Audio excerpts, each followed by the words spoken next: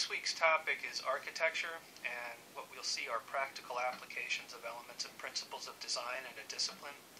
After architecture, we'll I'll study the discipline of typography, and they're related to one another, and they are a nice uh, introduction to the elements and principles of design.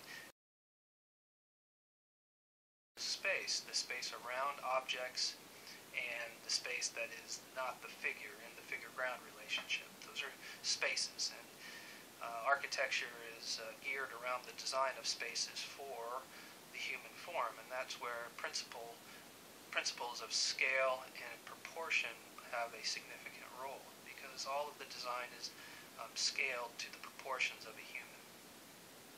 And what I encourage you in your day, as you uh, go through this content and think about architecture, I want you to recognize the spaces that you inhabit and that are designed for you to live in.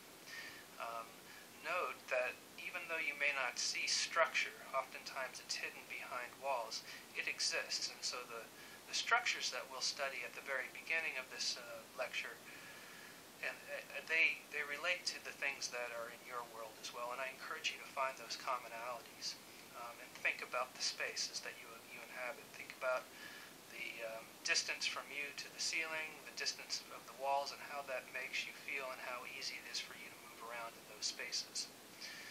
Um, at the end of the lecture, there's a video that I ask you to review and to post your comment on through using the Blackboard discussion board tool. And uh, I encourage you to post your response in there, give your opinions, and note that everyone will be able to view everyone's responses. It's an open forum. I've had a lot experience in architecture, and one of them was as an architecture student at Arizona State University. The story I want to relate to is about a project that I did. I spent a lot of time working on this project and then presented it to a body of faculty members. And, after, and, and they destroyed it. They ripped it to shreds. Um, afterwards, a fellow student of mine um, came up to me, and maybe she saw I was a little upset. Uh, maybe she was nice, but I actually I believe that she was being objective. And she said, this, this over here, this part over here on your presentation is really nice. It may not be architecture, but it's really, really interesting. Um, and it's that sort of interaction that's unique about the college and the university setting, and I encourage you all to take advantage of it. It's a wonderful thing.